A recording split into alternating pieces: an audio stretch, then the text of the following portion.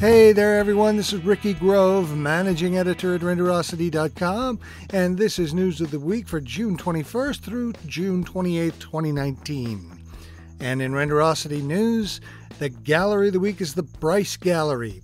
One of Renderosity's oldest galleries, the Bryce Gallery has over 100,000 artworks. Be sure to catch our video gallery, which features 10 works from this awesome digital art gallery. Speaking of galleries, we have an interview with uh, a video gallery with our artist of the month, Bacapo, and our vendor of the month, Anagord.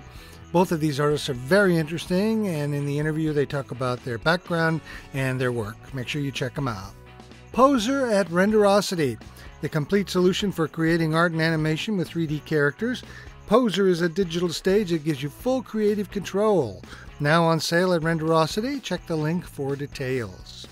We have winners announced in the 2019 La Femme Advanced Features Contest number 2. First place entry is number 2 by Odd Muse. Second place entry is number 6 by Lady Light. And the third place entry is number 7 by Glitterati 3D. Our thanks to all those who entered and congratulations to the winners. And in Renderosity magazine, we'll be covering one item today. Renderosity acquires Poser from Smith Micro. Bondware, the parent company of Renderosity, has announced the acquisition of Poser software product line for professional 3D figure design and animation.